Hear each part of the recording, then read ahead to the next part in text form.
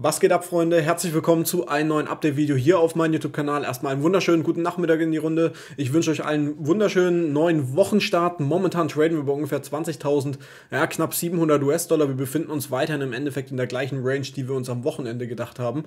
Aber trotzdem müssen wir auf einige Punkte eingehen, beziehungsweise welche möglichen Setups sich jetzt aus diesen letzten äh, Tagen im Endeffekt rauskristallisiert haben. Das besprechen wir auf jeden Fall alles heute im heutigen Video. Ansonsten, bevor wir starten, lasst dem Video gerne ein Like da, abonniert den Kanal, um nichts mehr zu verpassen. Und wenn ihr Bock habt, drückt auf die Glocke und lasst einen Kommentar unten drin, falls ihr euch irgendwelche Altcoins wünscht. Gut, dann würde ich sagen, starten wir direkt durch. Wie gesagt, momentan 20.400 US-Dollar auf dem 4-Stunden-Chart. Der Abtrend wurde mittlerweile gebrochen. Trotzdem gehe ich weiterhin davon aus, dass wir nochmal die letzte Chance haben, hier nochmal dieses Hoch bei ungefähr 21.100 US-Dollar abzugreifen. Warum? Wir sehen momentan vor allem, wir hatten es am Wochenende, erst haben die ganzen Meme-Coins, Shiba, Doge, was weiß ich, hat alles gepumpt. Gestern waren es vor allem die Meta-Coins. Äh, Gala hat gepumpt, Mana hat gepumpt, also diese ganze Metaverse-Geschichte. Und heute pumpen da noch andere Altcoins wie Link und sonstiges, ne? Und mich erinnert diese Situation sehr an, äh, sag ich mal, an vergangene Zeiten, wo wir immer auch mal wieder diese hatten, Bitcoin konsolidiert dann ewig. Und währenddessen pumpen die Altcoins wie blöde und dann kam eben diese Korrektur. Und das ist momentan das, auf was ich momentan sehr drauf achte. Klar, man könnte jetzt sagen, okay, wir bilden hier möglicherweise so eine Art äh, Ascending Triangle, also bullisches Chart Pattern. Kann ich mir auch vorstellen, ganz ehrlich, ich würde es jetzt nicht ausschließen. Trotzdem bin ich eher der Meinung, dass wir aufgrund des schwachen Volumens, der höheren Hochs und dieser Bearish Divergence nochmal diesen letzten Peak übers Wochenende hatten viele Leute die Möglichkeit, eine Short-Position zu eröffnen. Und dass wir dann eben nochmal diesen letzten Peak bis maximal 21.500 US-Dollar vielleicht kriegen, um dann wirklich diese 19.300 US-Dollar abzugreifen. Warum ich das denke, keine Ahnung. Wie gesagt, Wochenende äh, ist einfach sehr, sehr viel passiert, dass viele Short-Positionen eröffnet wurden und dann einfach nochmal diese Hochs abzugreifen, wäre einfach der logische Sinn. Außerdem haben wir unten bei diesen 19.300 US-Dollar noch die Vector-Candles. Daran bitte auch noch denken. Wir haben hier sehr impulsive Kerzen mit sehr, sehr viel Volumen drin. Die könnten wir uns auf jeden Fall noch holen. Vielleicht sogar zur Zinsentscheidung am Mittwoch, dass dann wieder die ähm, Volatilität um 19 Uhr eine Stunde lang extrem auf und äh, wieder abnimmt und wir da dann eben kurz Longs und Shorts eben in diesem Szenario ähm, fischen, um dann die wiederum auszustoppen.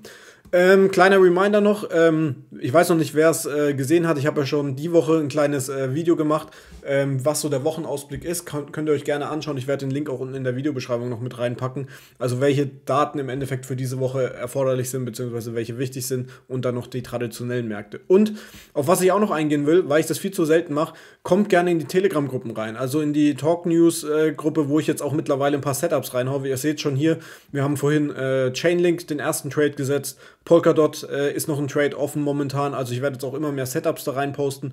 Natürlich könnt ihr auch einfach in die Chartanalyse-Gruppe, wo nochmal alles kurz und knapp zusammengefasst ist. Aber kann ich euch nur empfehlen, wie immer, Link unten in der Videobeschreibung, würde ich mich darauf freuen, wenn wir uns hier weiter austauschen können. Gut, das äh, dazu. Dann würde ich sagen, schauen wir uns noch ganz kurz mal Ethereum gleich noch dazu an.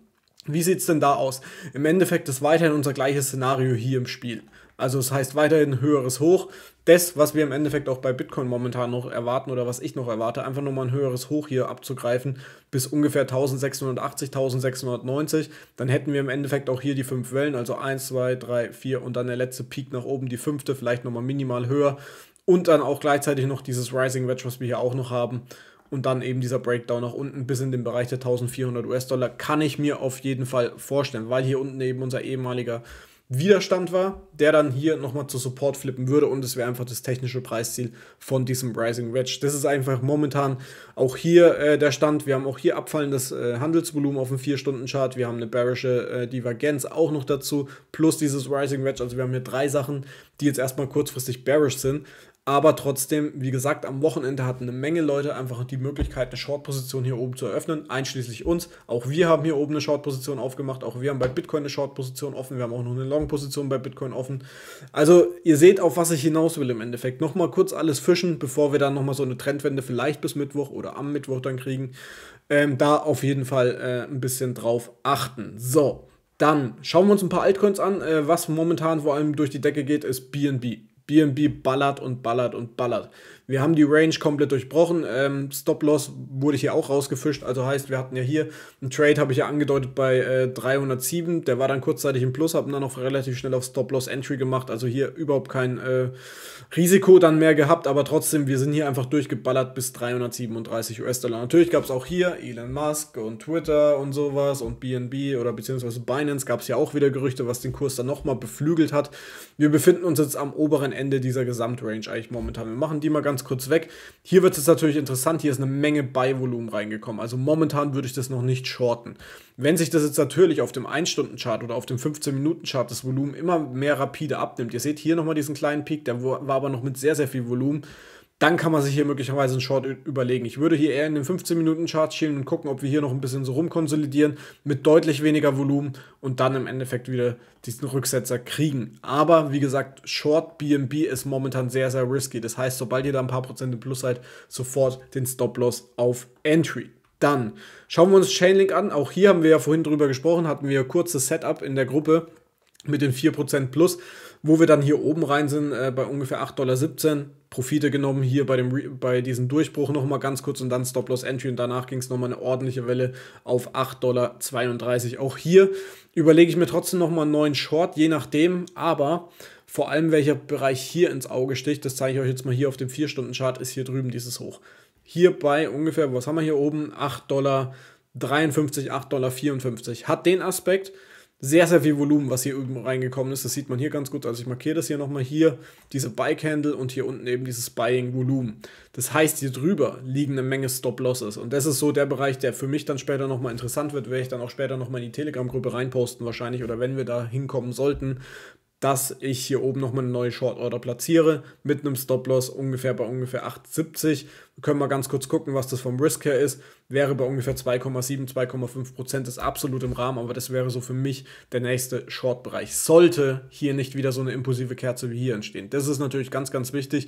Ich möchte keine noch impulsivere Kerze sehen, dann können wir den Short vergessen. Ich will abnehmendes Volumen sehen. Ich will möglicherweise noch eine Bearish Divergence sehen und dann können wir uns hier überlegen, dieses Hoch im Endeffekt hier zu shorten und dann möglicherweise eine Korrekturwelle nach unten hin mitnehmen. Dann, was endlich auch abgeholt wurde, Elrond. Seit einer Woche, schwöre ich glaube ich in der Gruppe, möchte ich einfach diesen Short Trade eingehen. Und jetzt haben wir uns endlich mal diesen Short Trade abgeholt. Man sieht es ganz gut. Ich habe immer wieder gesagt, ich möchte, dass wir uns dieses Hoch hier bei äh, 59,14 nehmen. Wir sind dann sogar noch in den Bereich der 60 gekommen. Also hier oben war dann auch meine Short Order. Wir sind hier perfekt momentan zumindest im Plus. Also in dieser grünen Ding war mein äh, Entry ungefähr, ja, 60, 59, irgendwo in der 59, 60, ich weiß es jetzt nicht auswendig. Auf jeden Fall läuft der Trade momentan zumindest. Auch hier leichte Profite genommen schon mal. Und jetzt schauen wir einfach mal, wie es weitergeht. Also ich kann mir möglicherweise hier nochmal so einen kleinen Push drüber vorstellen, die 645. Stop-Loss, Entry äh, überlege ich wieder rauszunehmen.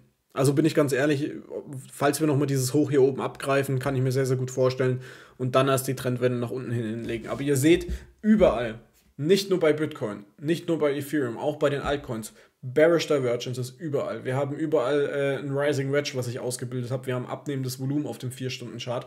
Also es könnte eine ganz, ganz böse Überraschung noch geben. Ich will es jetzt hier nicht beschreien, dass wir jetzt hier den nächsten Crash sehen oder sowas. Aber es deutet vieles nochmal auf einen Rücksetzer hin. So wie bei Bitcoin die 19.3, 19.4 deutet momentan sehr, sehr viel darauf hin. Und man merkt die Stimmung in den Gruppen, in den Videos, überall extrem, extrem gehypt. Ich möchte nochmal an äh, dieses andere äh, Pattern oder beziehungsweise das Wyckoff erinnern, wo wir letzte Woche im Livestream eingezeichnet haben. Äh, ganz ehrlich, abschreiben würde ich es einfach nicht. Denkt da einfach nochmal nach, dass wir nochmal einen Impuls in Richtung 23, 24 kriegen könnten und dann irgendwann die Springphase kriegen. Was natürlich jetzt auch wichtig war, was ich vorhin vergessen habe noch, ist einfach der Aspekt, man sieht es hier drüben, beziehungsweise jetzt, warte, so. Wir haben höheres Hoch gebildet im Weekly, gutes Zeichen, haben das sogar heute Morgen nochmal getestet. Erst einmal gutes Zeichen. Jetzt gilt es halt auch, diesen Trend festzusetzen. Das heißt aber nicht, und darüber haben wir auch schon gesprochen, dass wir nicht nochmal die 19.3, 19.4 antesten könnten. Schauen wir einfach mal, wie die Woche ist. Kriegen wir die Woche wieder ein höheres Hoch im Weekly, ist es ein gutes Zeichen. Vor allem, wenn wir nochmal so eine Volumen kennen, die kriegen, was bezüglich der Fed sehr, sehr gut möglich ist. Aber ansonsten weiter im Wachsamsein des Wyckoff bleibt erst einmal drinnen. Gut, so viel dazu. Äh, kurz die News noch: neue VeChain-Partnerschaft mit Kaffeegiganten. Jeder mag natürlich Kaffee, ich zumindest. Kaffee immer dabei, schön in der Krypto-Guru-Tasse natürlich. ähm, gerne den Artikel lesen. Ich werde ihn später noch in die Telegram-Gruppe reinposten. Äh, ansonsten würde ich sagen, hören wir uns dann morgen früh zu einem Update-Video wieder. Ansonsten kommt gerne natürlich in die Telegram-Gruppe, kann ich euch nur empfehlen, in beide. Wenn ihr darauf Bock habt, würde ich mich auf jeden Fall über weiteren Austausch freuen. Ich würde sagen, das war's von meiner Seite. Lasst dem Video ein Like da, abonniert den Kanal, wenn ihr es noch nicht gemacht habt. Wir hören uns morgen wieder. Bis dahin, ciao, ciao und stay crypto.